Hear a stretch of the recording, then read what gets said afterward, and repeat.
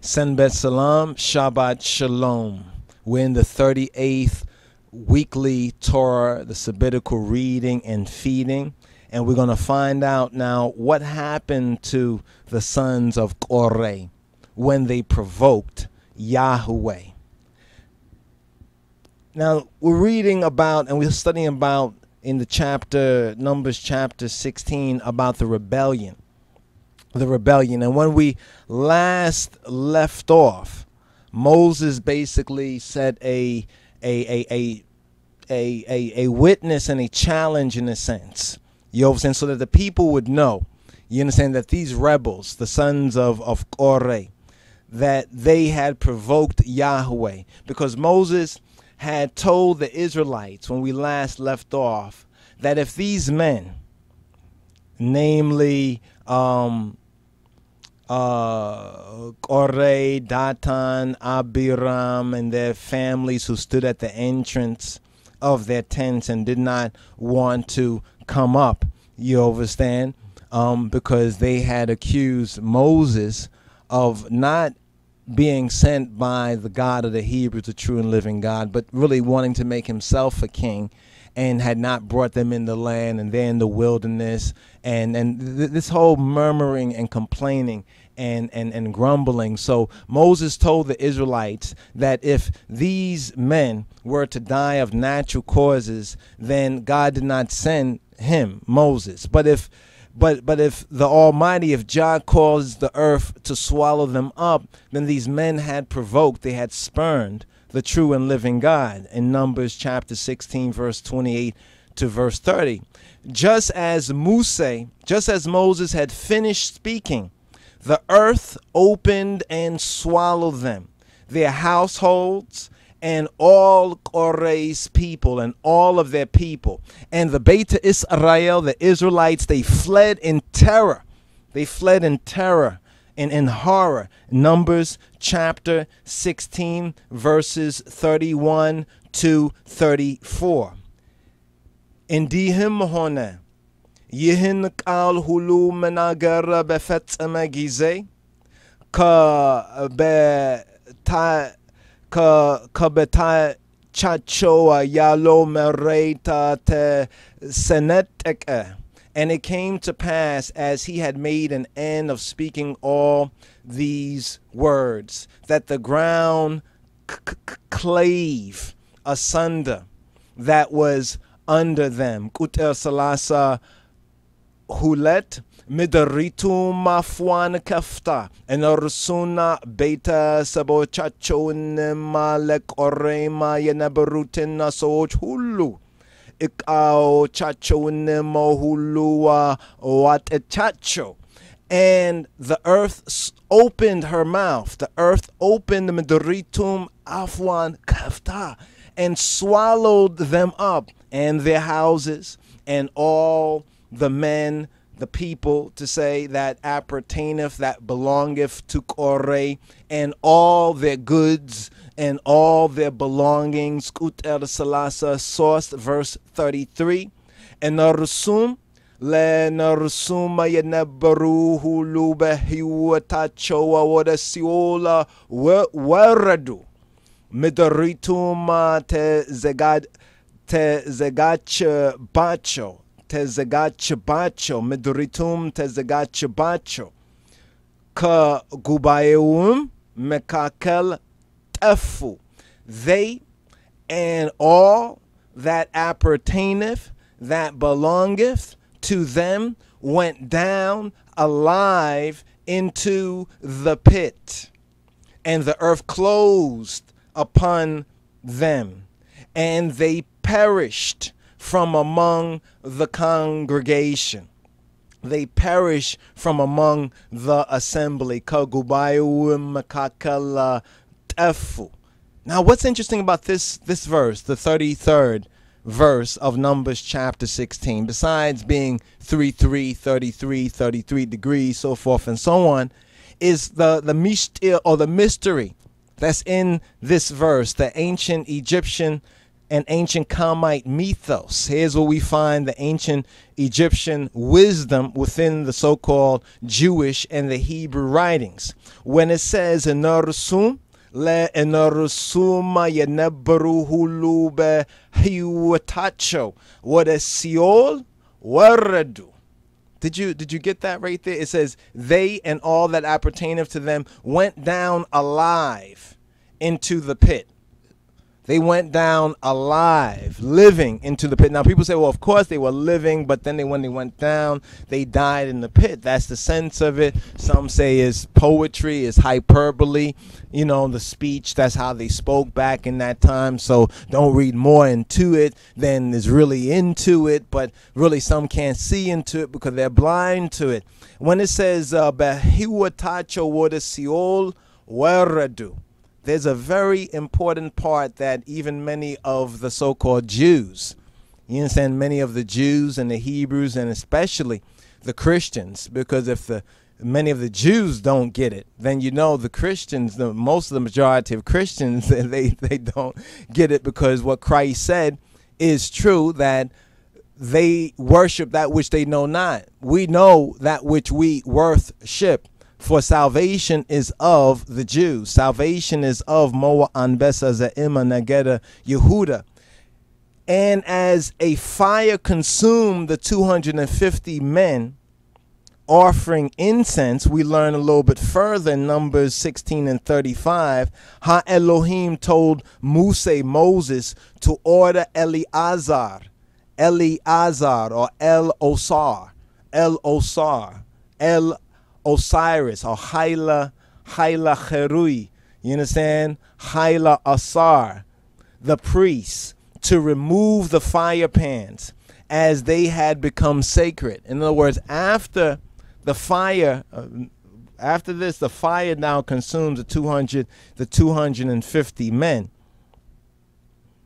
in verse 34. We're going to come back to verse 33 in a moment. It says, Be zuriacho yeneberu yes aralijoch hulu ka chua hetacho yetanesa midaritu and datu ten below beraru and all Israel that were round about them fled at the cry of them. For they said, Least unless the earth swallow us up also.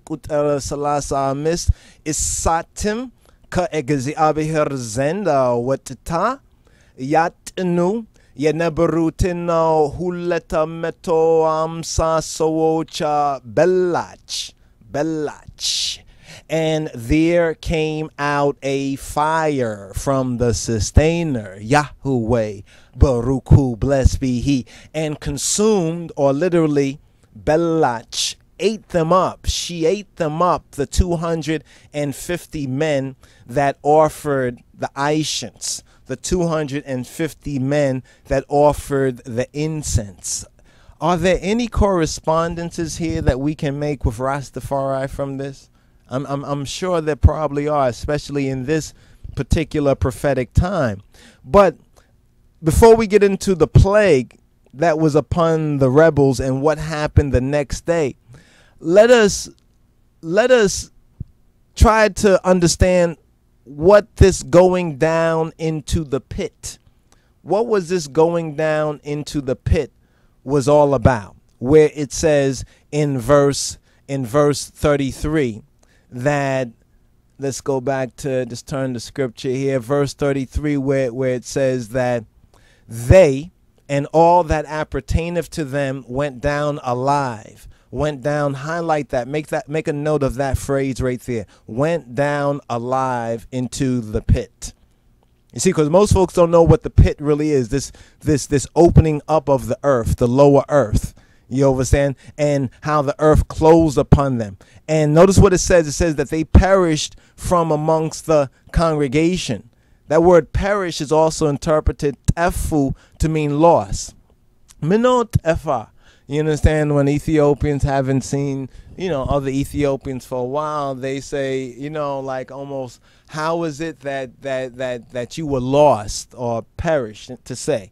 But you were lost. I couldn't find you, in other words. These ones who went down into the underworld the underworld of the Amenta, you understand, the underworld of, of Sheol were separated from the living ones, from the living ones who were passing through the, the wilderness of the Amenta. But others went to the lower world. Now, now, Gerald Massey in Ancient Egypt, Light of the World, we want to put this in because this helps to clarify it amazingly. This is the Egyptian wisdom that's found in the Hebraic and the Hebrew writings, which which most of the rabbis you understand, especially the Eurocentric, the white rabbis, though they may have done a good job on some of the, the rudimentary, the basics, they have totally overlooked the the ethnic and the the the inner Africa and Egypt and Ethiopia connection with the Bible and in particular with Torah.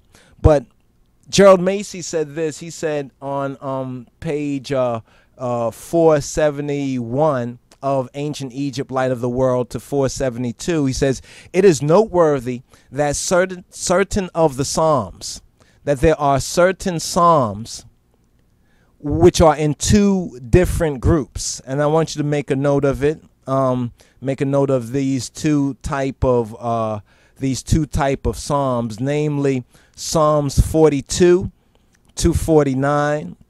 That's one, one, one, one group. The next group is Psalm 84 to 88. So these two sets of psalms or groups of psalms are very important to understanding this mishtir concerning the sons of Korah as well as the gainsaying of the sons of Korah. Psalms 42 to Psalm 49. So 42, 43, 44, 45, 46, 47, 48, 49. And Psalms 84 to 88, 84, 85, 86, 87, 88. They are these two particular groups that that Massey pointed out here. It is noteworthy that certain of the Psalms in two different groups are specialized. Are specialized. They are specialized or or or, or um, uh, kind of um, categorized as psalms of the sons of Korah. You'll find this subscription, especially in the King James um, Bible. Some of the newer Bibles take out that subscription. You understand the subscription, but the subscription is very important. It's actually part of the psalm. But the, these two different groups, Psalm 42 to um, Psalm Psalms 40, 42 to uh, what was that? 42 to, was it 40, 49? Psalm 42 to 49 and Psalms 84, 84 to 88. These particular two groups of Psalms, what is unique about these particular groups of Psalms is that they have been specialized and categorized as Psalms of or concerning Silla because of or concerning the sons of Korah. Now, these were the rebels. These were the rebels once upon a time who, according to the Hebraic tradition, they disappeared. What we're studying here in the 38th weekly Torah, the Sabbatical reading and feeding, known as Korah or Korah, these are the rebels who, according to the Hebraic uh, Torah and Orit, and book of Numbers, they disappeared when the earth opened and swallowed them up alive. When the earth opened and swallowed them up alive. Behiwatacho Seol waradu. But this is known and was known in the wisdom of Egypt, ancient Egypt, the Kamite mythos coming out of inner Africa and, and from the ancient Tobia or Ethiopia, Ethiopia. This was one of the legends of the Amenta, the Ameneta, the Ameneta. You understand? Wandering, indecisiveness. You understand? Um, variation, oscillation. You understand? The only earth that ever swallowed human beings was the netherworld or the nether earth of the Seol or Sheol. And if we take our stand, in other words, with the sons of Korah in Amenta, then we can read these Psalms. In other words, if we now relocate our perspective to actually the sons of Korah's perspective, we'll recognize that in these particular two sets of Psalms, the, the person speaking are speaking from what was known in the wisdom of Egypt as the amenta. So we have a very interesting. Remember, it says that that that swallowed them up. What's the what's the language? The particular King James translation language went down alive. They went down alive into the pit. Bet he watacha what is Seol weradu. But then when you read these two these two groups of psalms from 42 to 49 and 84 to 88 which are specialized and categorized as the, the Psalms concerning or, or of or for the sons of Korah. The speaker in the Psalm, the speakers in the Psalm are speaking from where the sons of Korah would have descended. How interesting. How in the world did this get in the Psalms of David then? Eh, you see, when you really read the Psalm and you recognize that subscription is a part of the Psalm, when it says Psalms of the sons of Korah, you would say, wait, they, they're, they're actually speaking from that point where they were swallowed up and they went down into Seol. Notice what it said. It didn't say they went down to the Mekabir. It didn't say they went to the grave. You understand? Because people go down to the grave dead, right? It said they went down alive into Sheol. What is Sheol Weradu? What is Sheol Weradu? So the only way we can read these Psalms and see how they should especially apply to those who were swallowed by Sheol in the netherworld is to understand this this correspondence and this connection especially when we now compare this. Now one thing said by a certain commentator which added to this surprising occurrence is that when Korah or Korah was swallowed in the earth his sons were preserved. This is what's interesting. When when when when Korah was swallowed in the earth, his sons, you see what I'm saying, were preserved. They went down to the pit in death, but lived on as did the manes or the shadows, you understand, the shades in the Amenta the shades in the Amenta. You remember where it says um, in Psalm, uh, it Psalm 23? The shadow of death. That's not just poetry. It's, it's, poetry, yes, but it's not only poetry. It's poetry that is hiding to the uninitiated the mystery. The sons of Korah are in Sheol. They are in Sheol, but says the speaker. Notice what does the speaker in the psalm says? He says that God will redeem my soul from the power of Sheol. He exclaims, "Bring me to thy holy hill and to thy tabernacles." You remember? They didn't want to go up.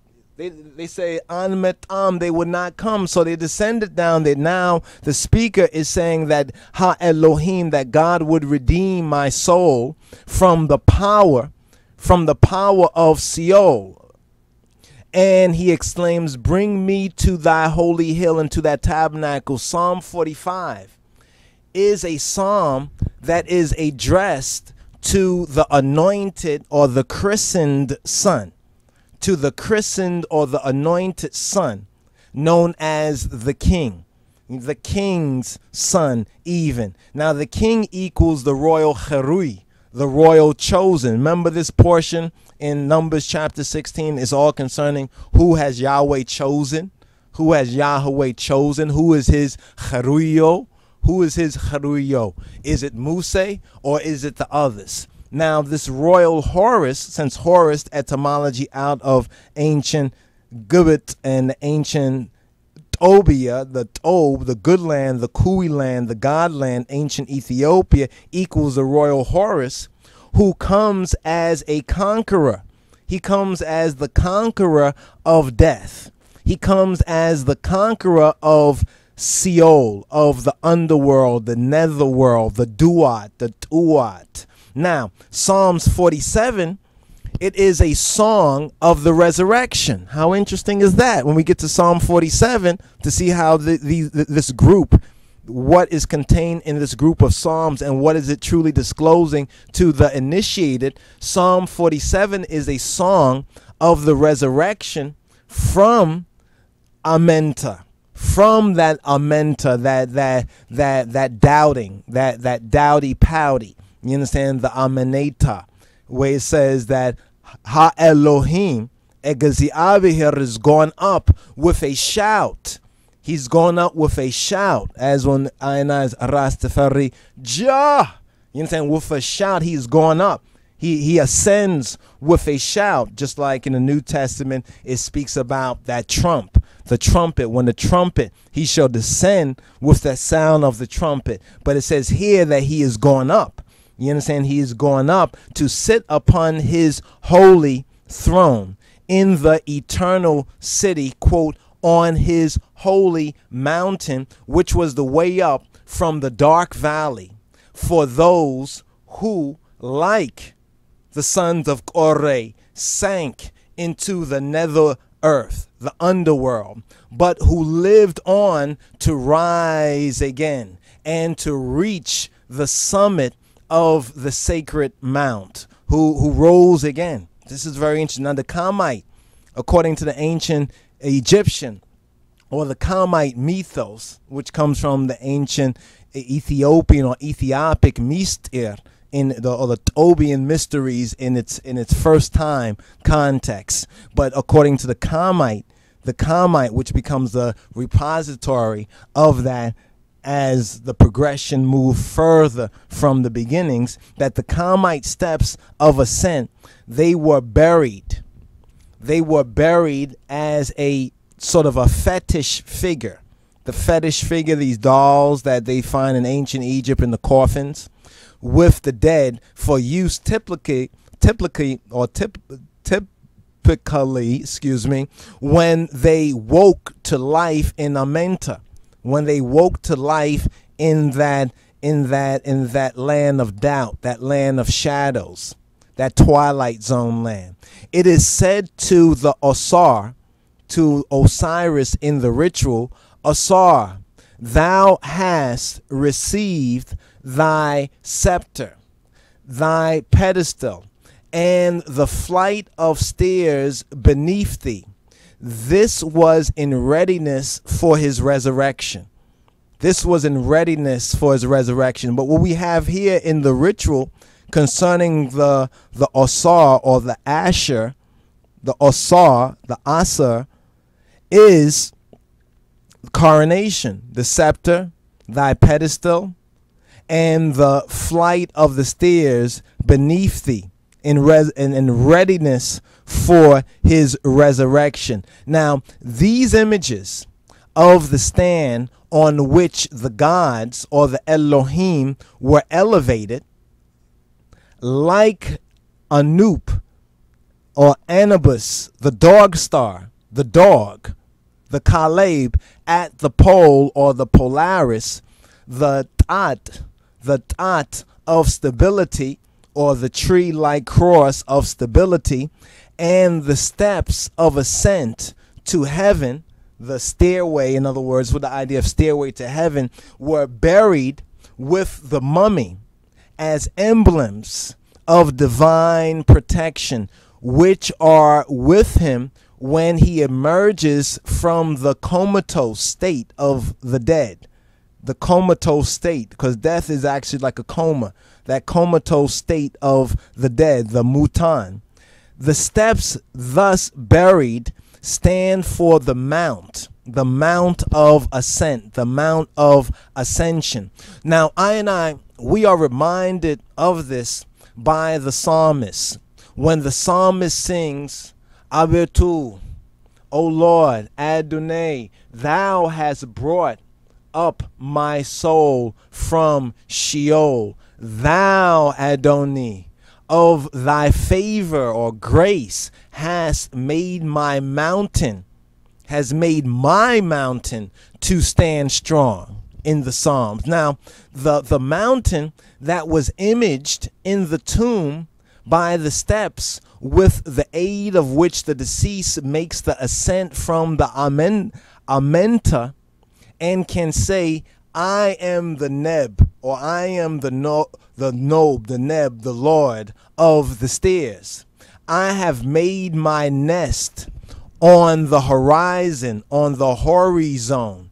So, so you have to really be able to visualize this from from the lower, from the lower half circle, making one step to the horizon, to the so-called middle region, or to the what's known as the horizon.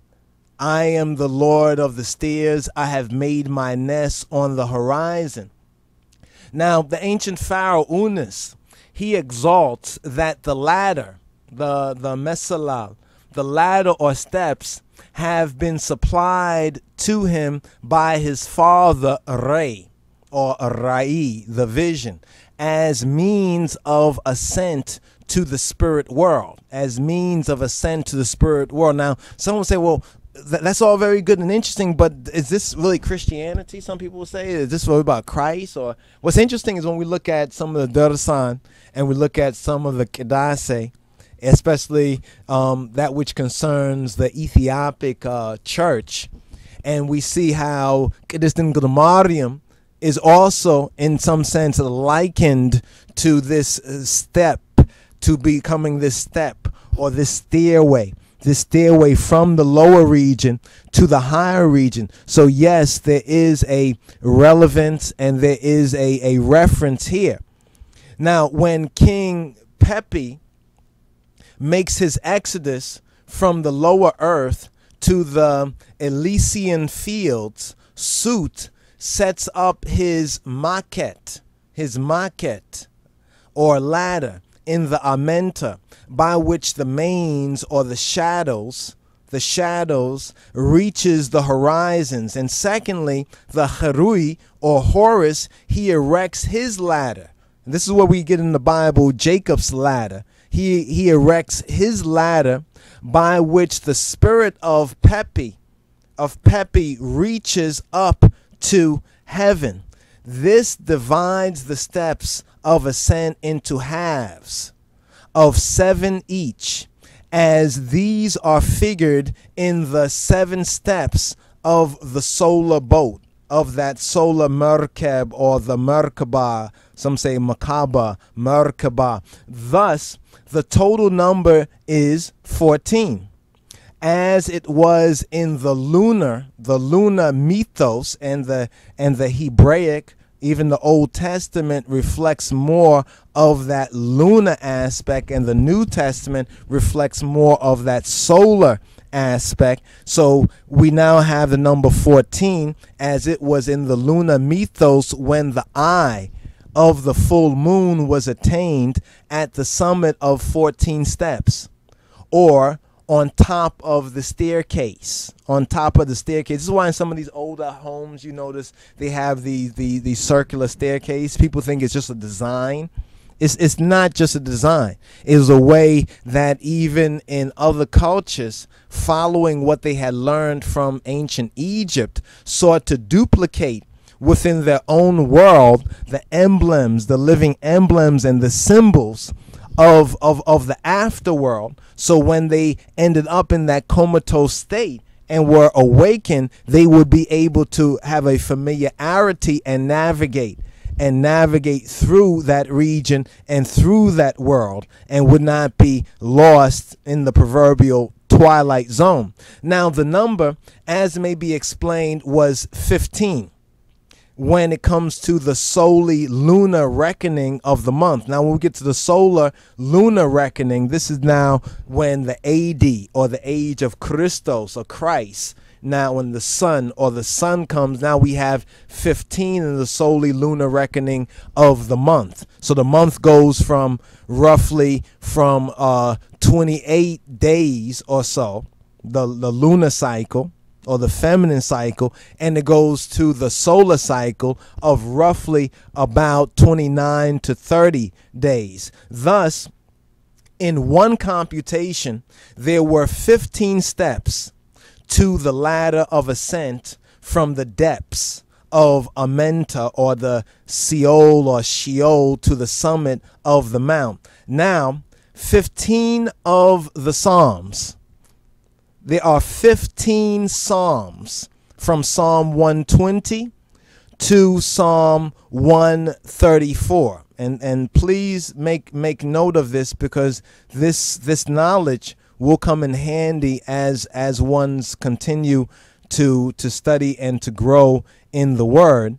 That there are 15 Psalms, right? There are 15 Psalms from 120 to 134 that are termed Psalms of degrees that are called Psalms of degrees from Psalm 120 to Psalm 134. In the Hebrew, they are called song, a song or songs of ascents, songs of ascents. In Bamarinya, we call it songs of degrees. Uh, Ma'arig, Ma'arig Mezmor, the Ma'arig Mezmor, Ma'arig, Psalm of ascension. You understand? Or raising up. You understand? Ascending. Now, in the Chaldee or the Chaldee, they were designated, quote, a song that was sung upon the steps of the abyss. Of the abyss. Abyssinia, Abyssinia. You understand? These are the steps from the abyss or the depths of the Sheol mentioned by the speaker, the Tanagari, who says, Thou shalt bring me up again from the depths of the earth. Thou shalt bring me up again from the depths of the earth.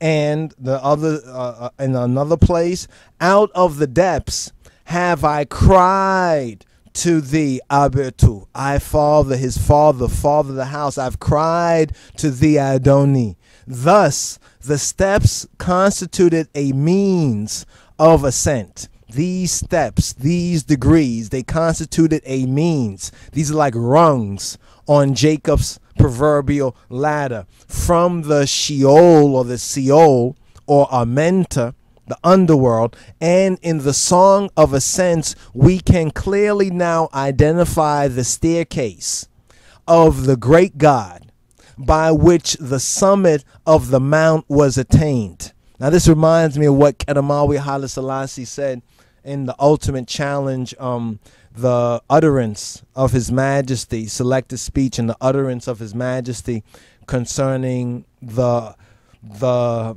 ultimate challenge where he says where he speaks about reaching the summit destined for us the summit destined for us by the great creator. Reaching that summit, to reach the summit of the mount, we must understand and know his way. We have to study to show ourselves approved.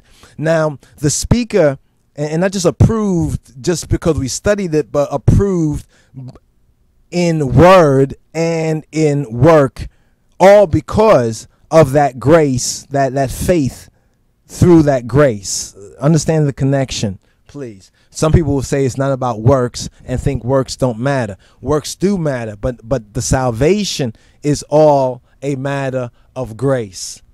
His salvation, the opportunity that we all have. If you're interested in in scriptures and Torah, in the word of the King of Kings and his Christ, in your salvation and working out your salvation, that is grace. That is a gift because if you can think back, there's a time when you wasn't concerned about it. Nobody can make you even be interested in it. But all of a sudden, it is it is it is it is firing your heart. You have a passion for this. Uh, you know, it's like it's like the fire is continuing to grow.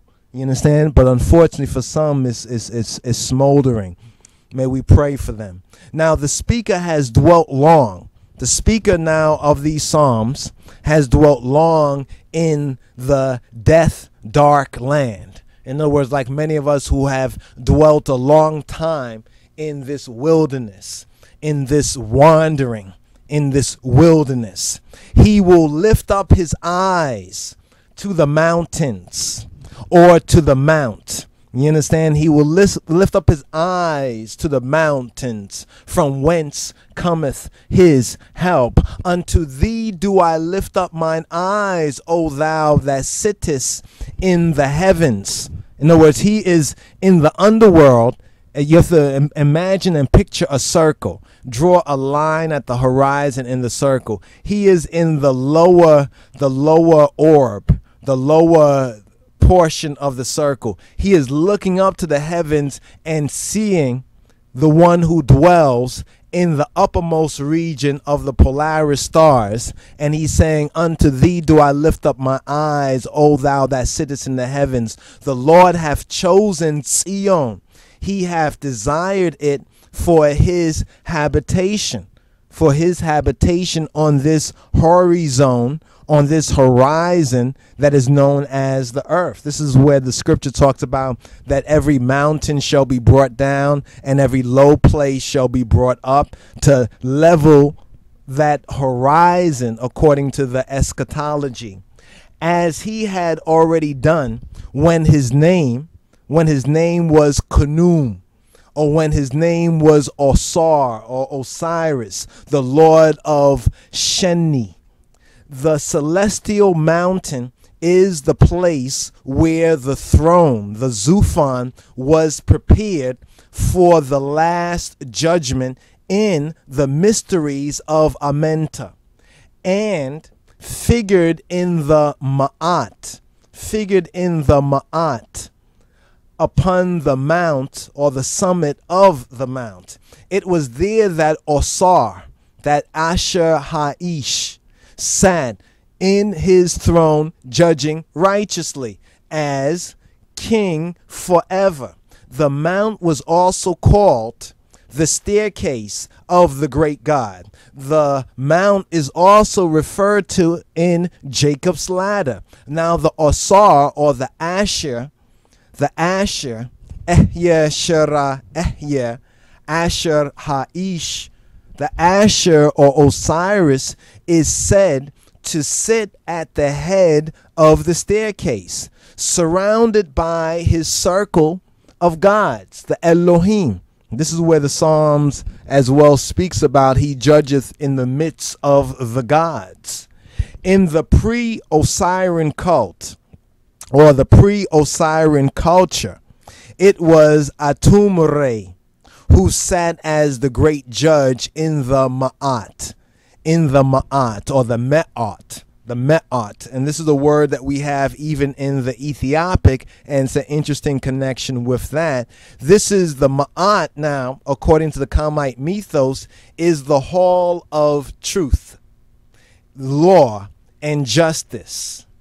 The, it's the hall of truth, law, and justice as we have seen, the mount on high was also imaged by other types of the ascent to heaven, by other types of the ascent to heaven. Now, this is a very interesting point and, and matter that when we connect it with scriptures in our sabbatical studies, we begin to comprehend and really see the full picture in its proper context.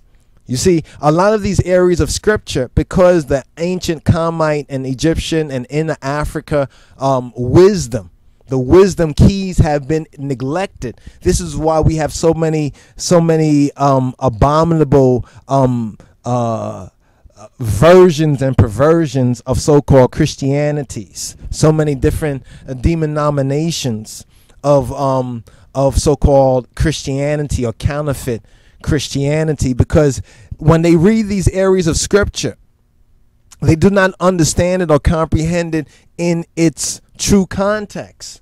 You see, when these scriptures were written down, even in the Hebrew dispensation, the people understood their relationship to ancient Egypt. They understood themselves to be black. You understand? They would not have any problem with their blackness. You know what I'm saying? So they knew that they were in Egypt and they passed for Egyptians while in Egypt. They understood the connection with, with Ethiopia through Muse, his Ethiopian wife, and his and his father-in-law. So these things were not mysteries to them, but given to three, four thousand years later. You understand? And especially over the past 400 plus years, how to make a slave and, and how to further rob a people of their identity. In plantation Christianity, those long headed, mule headed donkey Negroes don't know what they're talking about. You understand? And on one level, you, you feel sad for them. You understand? But because of their arrogance in white man's perversion, in, in the blonde hair, blue eyed, blush, rouge, and lipstick wearing Jesus, Jesus insanity called falsely called Christianity, they don't have not even the slightest clue what the scriptures is really talking about. You understand? And that's what makes it sad on one level until you buck up upon their their their arrogant pride and ignorance you understand, and make believe. You understand? Therefore, they will have to experience their own experience so they can know the truth for themselves. But this is a very interesting portion right here, and I'd like to touch on a little bit more of this. I know we're still in the sabbatical study for the for the 38th um, uh, Torah reading, which is called Korah. But as those who have listened and heard the the, the first part of, of, of this um, explication on on the pit and going down into Sheol and going down alive into the pit. Can anybody go down alive into the pit? What does this mean? This was a reflection on the Kamite mythos. You understand? And is further explicated in the Psalms. So it's impossible to understand the speaker in the Song of Ascents or the Psalms of 15 degrees is at the base of the mythical mount, the base of the mythical mount in Sheol, which is Amenta. So when you read the Sheol, see they they they, they call it the pit in King James translation, which is very dubious because it's not really called the pit in the Amharic or the Hebrew. In the Hebrew, they call it Sheol. In the Amharic and the and the Ethiopia is called the Seol. So it's very clear to anyone who's reading the Hebrew and the and the um the Amharic or Ge'ez that it's not talking about a regular pit like they fell into, you know, or some rocks in the ground or something. It is speaking of the mythical mount you understand? It's speaking of the Sheol or the Amenta. The Lord, whom the speaker in the 15 Psalms of degrees, Yema'arig Mezmur, whom he addresses, is upon the summit of his holy hill, just as Osar, Osiris was, just as Atum or Atum Array was, just as Sebek or Sobek was, is the great God the great God seated at the head of the staircase. In his distress, the speaker, he cries to the Lord, to the Adoni, the Atum, the Atumi, the Adoni. He, he cries to the Lord for deliverance from the enemy, who in this case is Sut or Seti, or Sut, as in Sate shait, more correctly, shait as in shait on, shait on. He fell from grace. Ana, Hana, shait on, the liar and deceiver. Him that hateth peace is who he's addressed in these Psalms. He's addressed as the one who hates peace. He hates Hotep. My soul, he says, hath long had her dwelling with him that hateth salam, that hateth shalom, that hateth we by extension the Shabbat, that hateth the Senbet, that hateth rest. I am for peace. Salamawi name. You understand? Woe is me, he furthermore cries, Woyoling, that I show, show sojourn, that I dwell in Meshech, I dwell in the Meshach. What is the Meshach or the Meska? The Meska in the Egyptian as a place name, it signifies the place of scourging and purifying in the Suten Ken in the Sutenken. It is the Kamite form of what would be considered purgatory as a place, really, more correctly, of the rebirth. The rebirth in the Amenta, in the Ameneta, the Ameneta, the Amenta, even from the Ge'ez and, and the and the Amharic, the place of the doubting the place of the double mindedness, the being born again, not being conformed eh, to the world, but being transformed by the renewing of your mind in and through that amenta, that wilderness for the soul on its resurrection from the dead, ka mutan, prior to the ascent of the steps. So you see, the resurrection from the mutan, the resurrection from the dead has to happen prior to the ascent of the steps or the ladder or the staircase or the column or the mount. So first one has this is very interesting because a lot of people believe that well the resurrection is going to happen after they are physically dead. Well the resurrection ain't going to happen after you physically are dead if you have not resurrected, you understand, from the dead while you live. You see what I'm saying? The first resurrection is spiritual it is psychological. And then the latter resurrection, you understand, with the glorified body, you understand, that can be seen and understood, you understand, as being in that so called future or world to come. You understand, in that world to come. But in this world, one must rise, resurrect before they die. Because if they don't resurrect before they physically die, you understand? There is a lot of wandering, a lot of demons. There, there's a lot.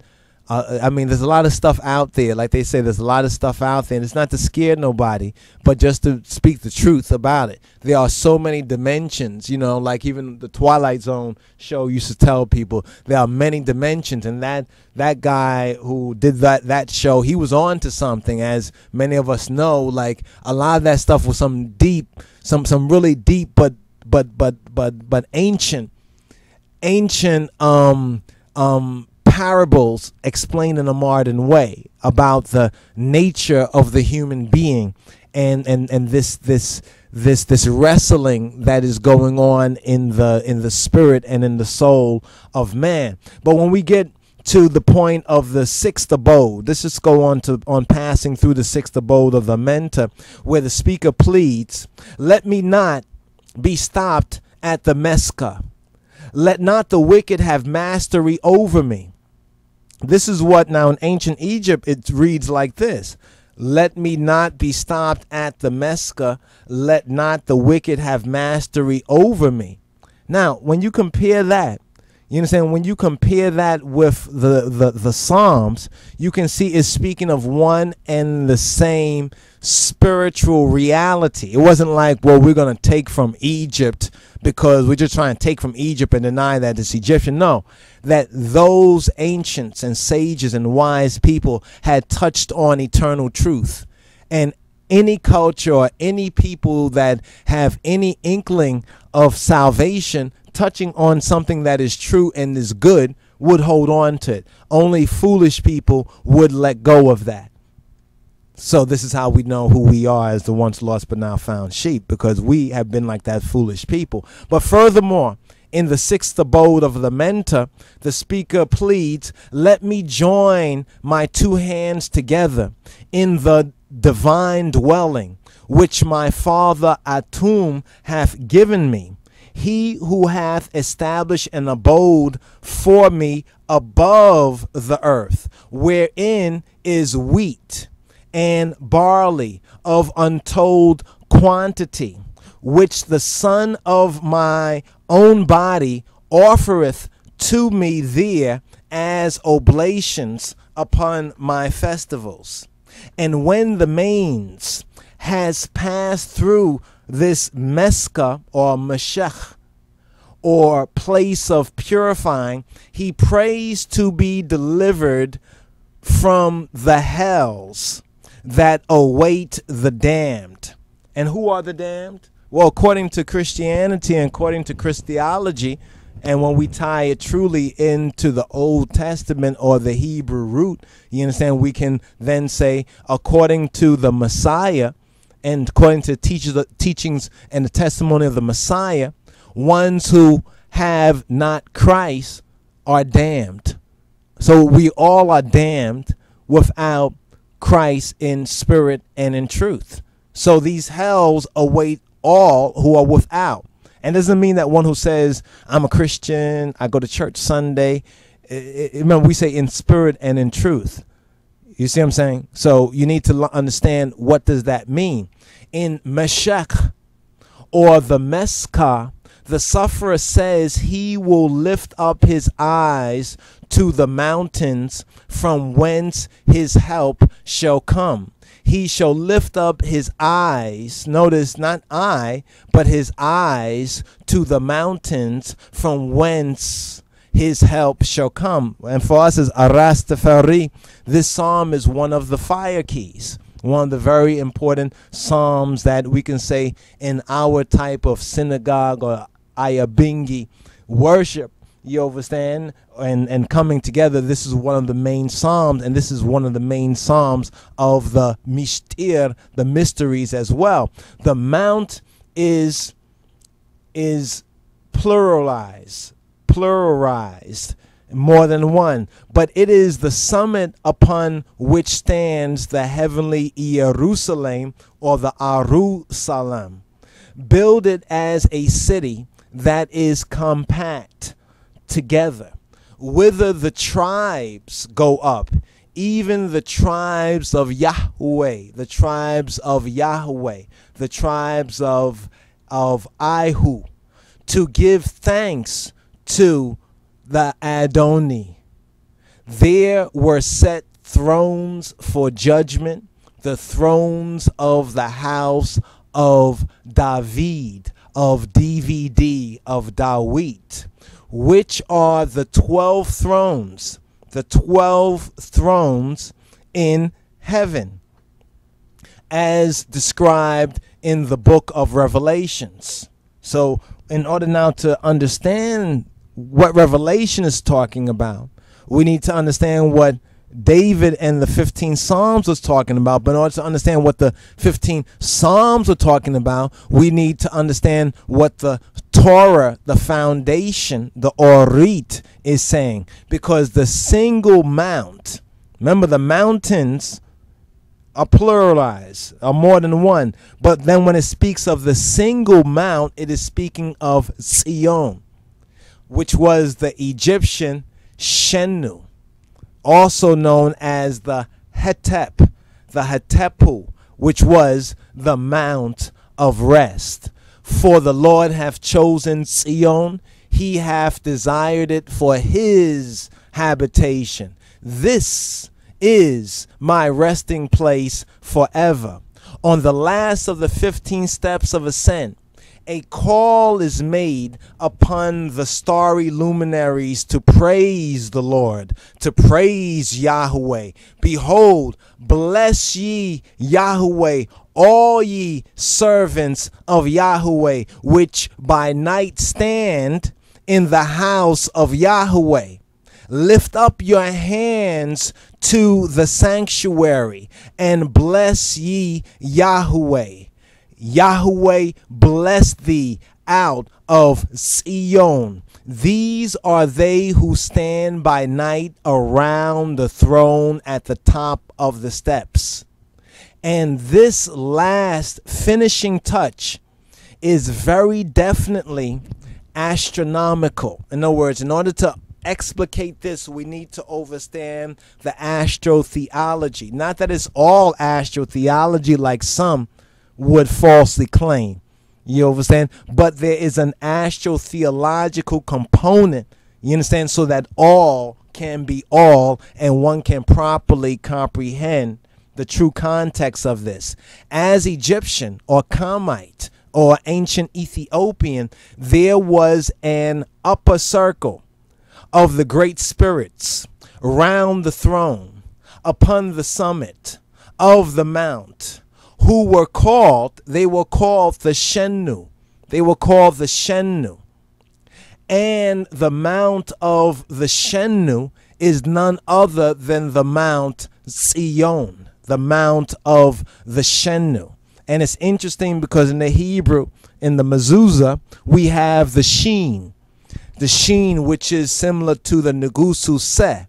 You understand? The negusu se, as in the se, as in salase or shalase, the she. And when you look at the glyph, both in the Hebrew and the Ethiopic, and then when you understand this from its ancient Egyptian or Kamite hieroglyphical um, correspondence, you can see basically the link coming from the ancient time, preserved somewhat in ignorance by the so called Ashkenazi and the Khazarian European Jews, and now brought into proper alignment by his people who are being brought back into their own vine and into their own fig tree.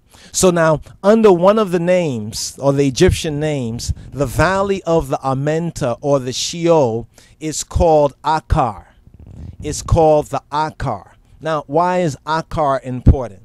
This valley of Akar we identify with Akor, A C H O R, the A K A R, identified with the A C H O R. It's called the Valley of Sorrow in the Hebrew. Akor's gloomy vale, a gloomy valley. It, it is sung in the Christian hymn. And this is the essential character of Akar.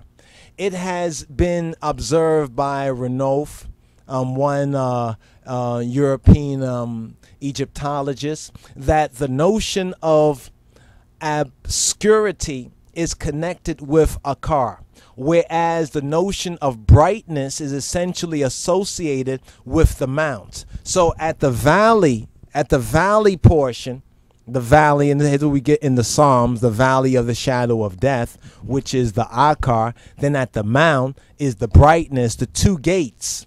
The two gates of Akar are mentioned in the pyramid text of Pepi as equivalent in the sense of the two gates of Seb or the Seb'a or the Sheba, in other words, or the earth. The difference lies between the mythical and the eschatological applications. The gates of Seb refer to our earth, and the gates of Akar to the Amenta, the land of shades, in the earth of eternity, or the Sheol, the Sheol, the pit where the the the sons of Korah and Dathan and Abiram and everyone that was with them went down there. When the valley of Akor is to become a door of hope, it is in the wake of the soul of God who goes forth from the gate of Akar to the summit of the mount. He goes from the gate of Akar. And we find this to be very interesting in connection with a Rastafari revelation.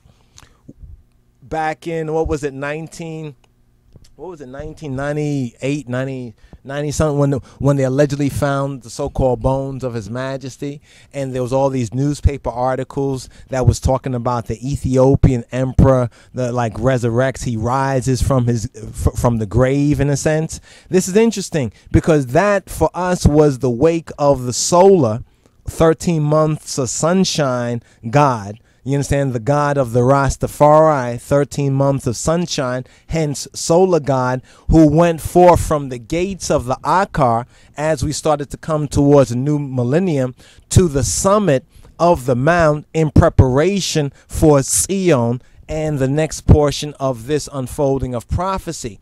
But Israel, we as Israel was to be judged.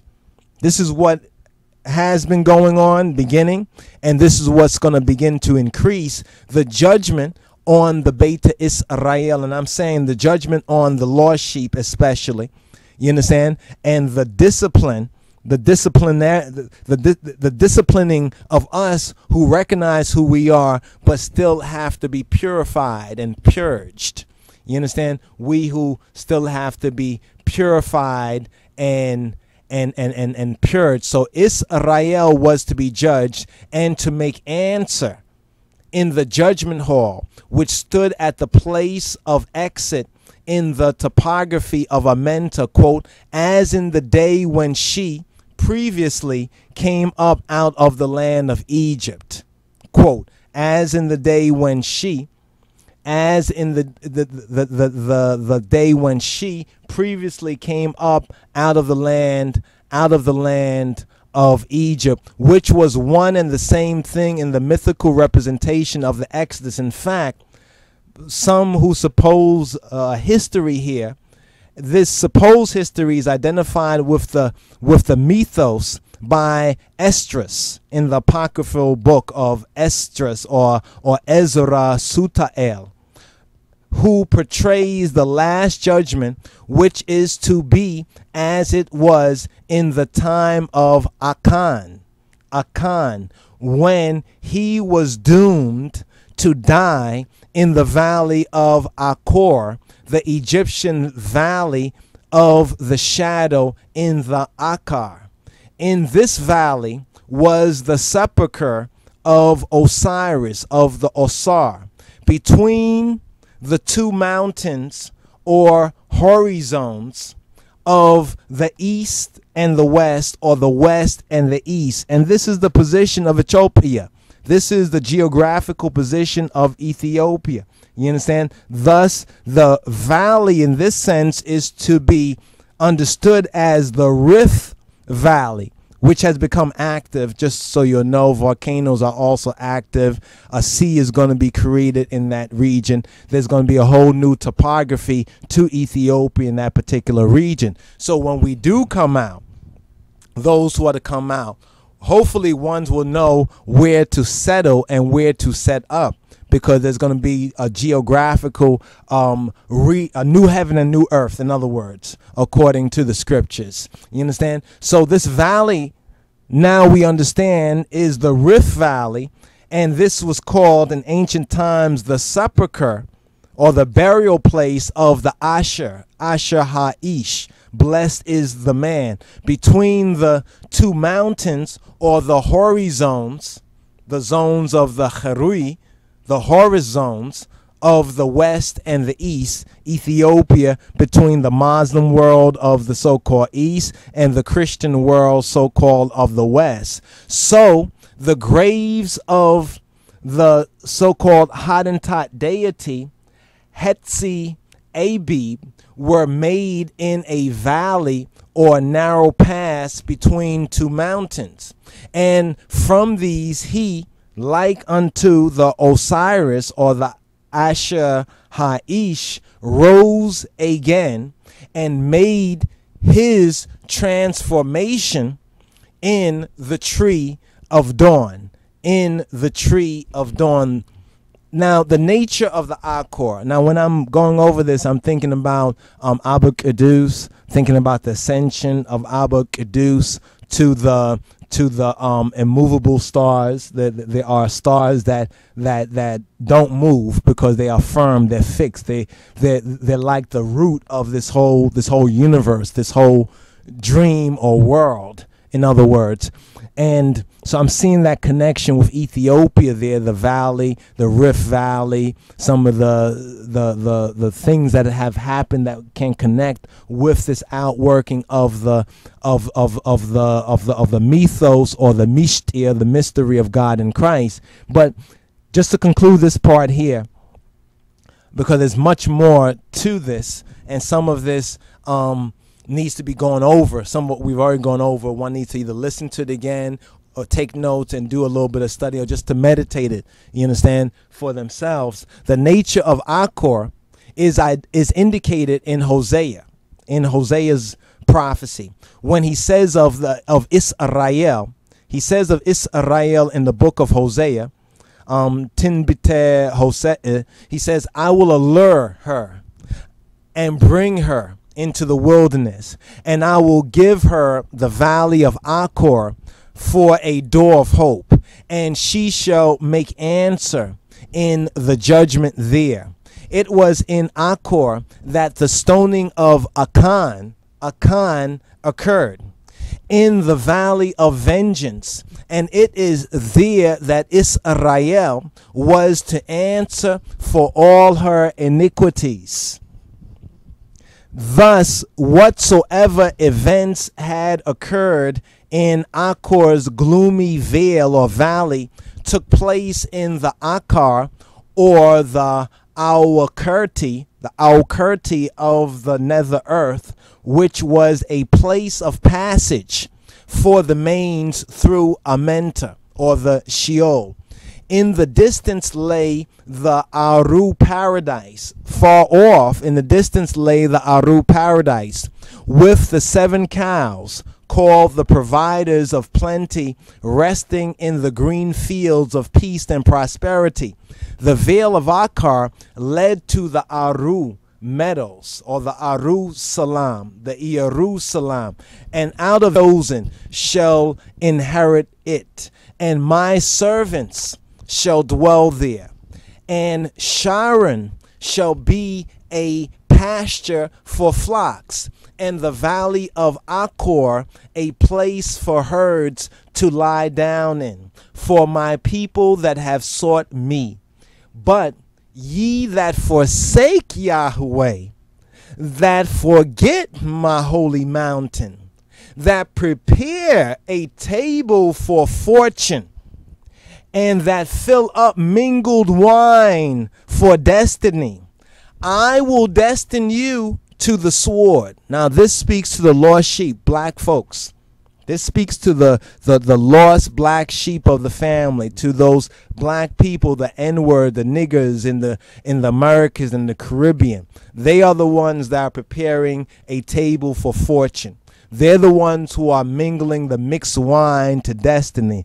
And they are the ones that Yahweh says that he will destine or divine for them the sword. This is the mountain of Amenta, fortune and destiny. Fortune and destiny are two Egyptian deities who are mentioned here by the name of God, G A D, not G O D, but it's basically the same thing since the, the word God is, is Gentile. It's not our word. We just use it as a placeholder till one's come grow up into consciousness. But the name of God and many, God and many many gods, but only mention to be abjured.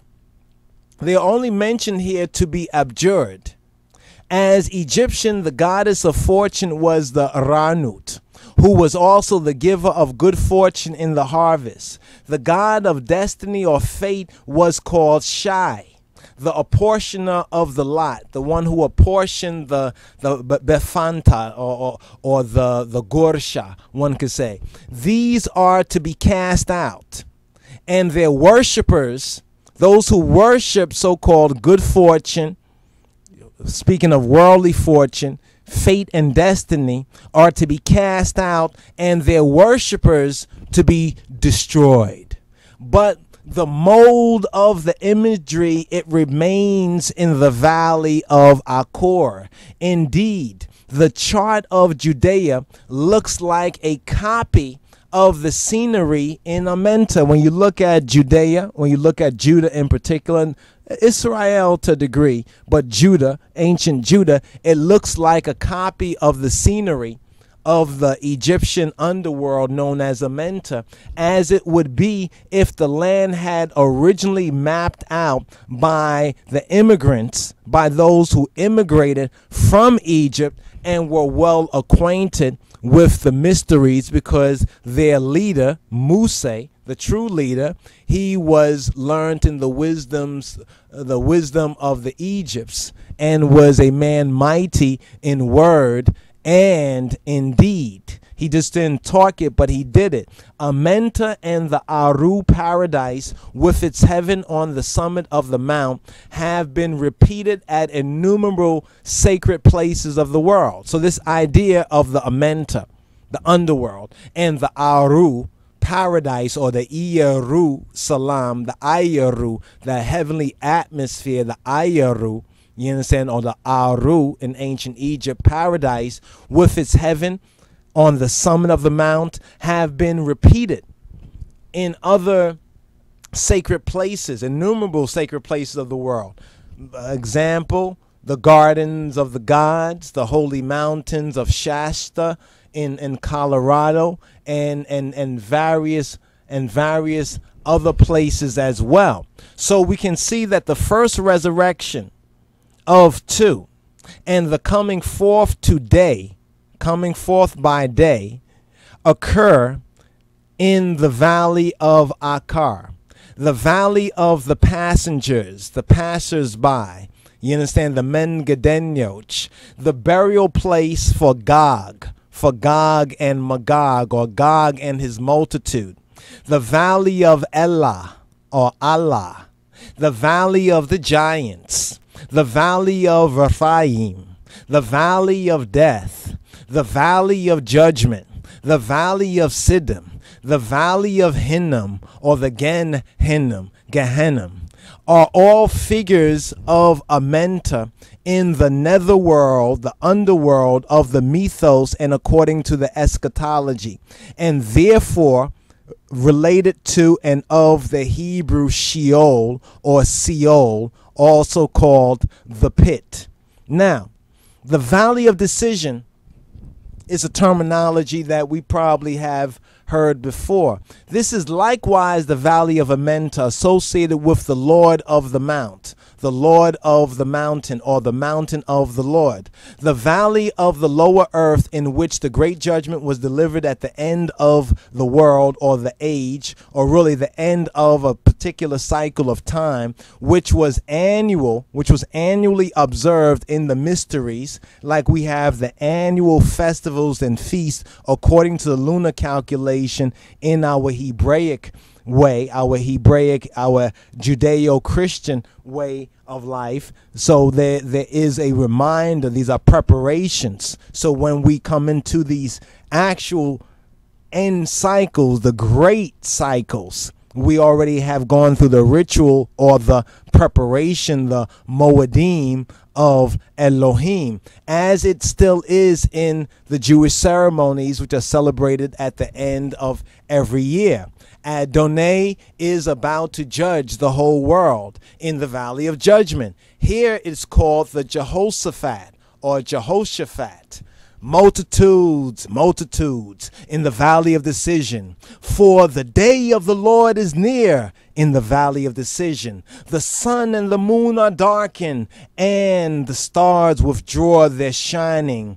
And the Lord shall roar from Zion and utter his voice from Jerusalem.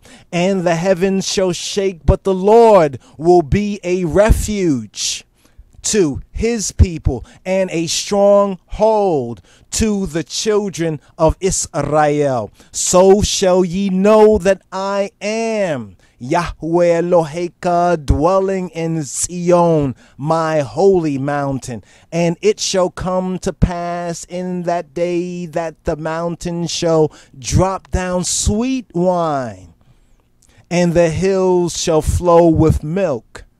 And all the brooks of Yehuda of Judah shall run with waters, and a fountain shall come forth out of the house of Adoni and water the valley of the Acacias. Every feature of this imagery is and ever had been Egyptian and thus Ethiopian, Ethiopic from the very Senbet Salam, Shabbat Shalom. We're in the 38th weekly Torah, the sabbatical reading and feeding and we're going to find out now what happened to the sons of Korah when they provoked Yahweh. Now, we're reading about and we're studying about in the chapter, Numbers chapter 16, about the rebellion. The rebellion. And when we last left off, Moses basically set a, a, a, a, a, a, a witness and a challenge in a sense you saying? So that the people would know. You understand that these rebels, the sons of, of Korah, that they had provoked Yahweh. Because Moses had told the Israelites when we last left off that if these men namely um, uh, Dathan, Abiram, and their families who stood at the entrance of their tents and did not want to come up. You understand? Um, because they had accused Moses of not being sent by the God of the Hebrews, the true and living God, but really wanting to make himself a king and had not brought them in the land and they're in the wilderness and and th- this whole murmuring and complaining and, and and grumbling so moses told the israelites that if these men were to die of natural causes then god did not send him moses. But if but but if the almighty if jah caused the earth to swallow them up then these men had provoked they had spurned the true and living God. In Numbers chapter 16, verse 28 to verse 30. Just as Moses, just as Moses had finished speaking, the earth opened and swallowed them, their households, and all Korah's people and all of their people. And the Beta Israel, the Israelites, they fled in terror. They fled in terror and in horror. Numbers chapter 16, verses 31 to 34. እንዲህም ሆነ ይህን ቃል ሁሉ መናገር በፈጸመ ጊዜ ka kabeta yalo mereta te. And it came to pass as he had made an end of speaking all these words, that the ground clave asunder that was under them. Salasa Hulet orsuna beta sabochacho malek orema yenabarutin soj hulu ikao chacho nemohulua watechacho. And the earth opened her mouth. The earth opened Midritum Afwan Kafta and swallowed them up and their houses and all the men, the people, to say that appertaineth, that belongeth to Kore, and all their goods and all their belongings. Kut el Salasa, source verse 33. And le Narusuma yenebaru hulu behiwatachoa wada siola wera